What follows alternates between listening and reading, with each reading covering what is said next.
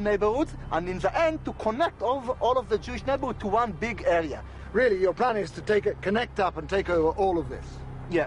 But there's one thing that's very clear. Yeah. International law has said that Israel's annexation of this land is illegal.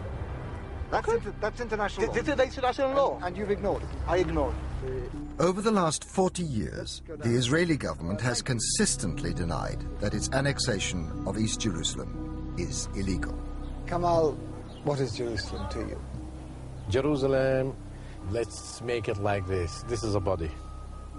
And Jerusalem is the heart of the body. And Jerusalem is the heart for us. And without the heart, you cannot live. Like I said about Yerushalayim, it's, you must think, you must, you, you're talking about Yerushalayim every day, tens of times. You're mentioning Yerushalayim is part of your life, should be.